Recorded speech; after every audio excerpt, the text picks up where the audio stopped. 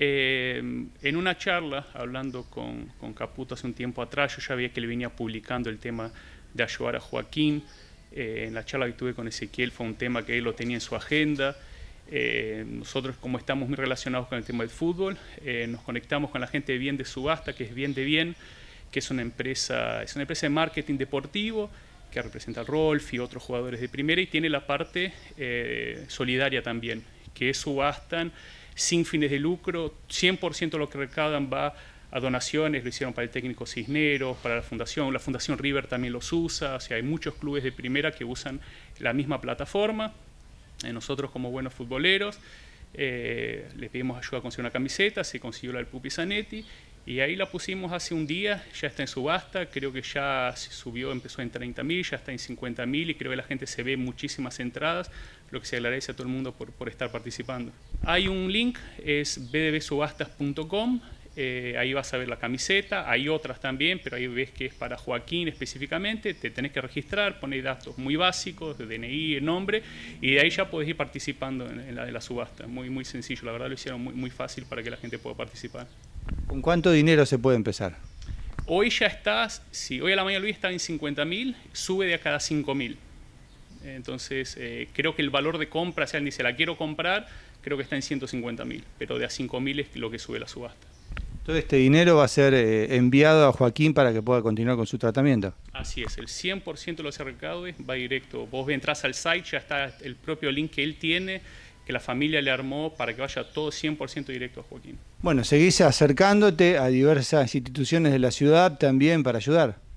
Así es, eh, estuvimos ayudando a Corpi hace un par de semanas, hicimos donaciones a chicos de menos de 12 años a través de, los medios, así que sí, seguimos ayudando todo lo que se pueda.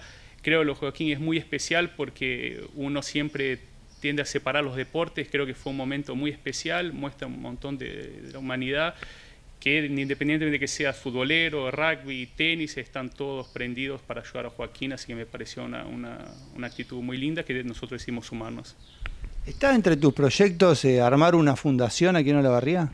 Estamos viendo, sí, de armar, armar una fundación. Eh, la empresa Arcos y demás está en formación y sí, ya estamos viendo en, armar una, una, fundación paralela a lo que es Arcos para, para seguir ayudando a instituciones. ¿Cómo va el proyecto de este lugar deportivo que están armando? Bueno, ahora hemos eh, empezado a transitar a una muy buena velocidad.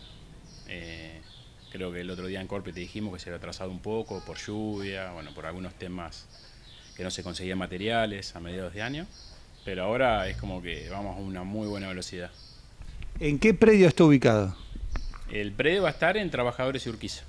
¿Eh? justo en la rotonda. Bueno, ya es bastante importante el avance, ya se ve el segundo piso.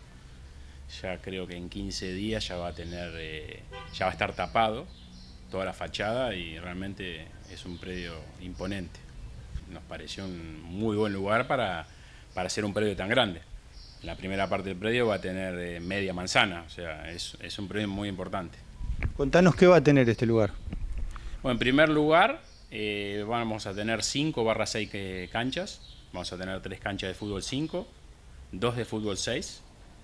Y las canchas de fútbol 5, eh, en forma horizontal, se puede hacer una de fútbol 7. Son todas medidas importantes, no canchas chicas. ¿viste? Que a veces se da que las canchas son como muy, muy justas, ¿no? Son todas una medida importante. Además va a tener un bar temático. Sí, en primer lugar vamos a inaugurar junto con las canchas un bar bueno, Alan también ha adquirido varias camisetas. Eh, el espacio va a ser muy lindo, muy moderno. Eh, vamos a ofrecer una serie de comidas.